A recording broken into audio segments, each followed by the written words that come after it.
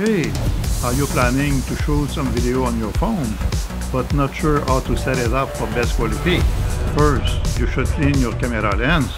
Then set your resolution and frame rate. Make sure your phone is in landscape orientation, not portrait. This will give you a wider frame and make your video look more professional. Don't forget to subscribe if you want to see more video like this.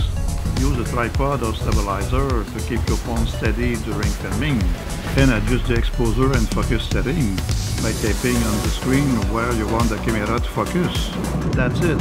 Start shooting high quality and professional looking videos on your phone today.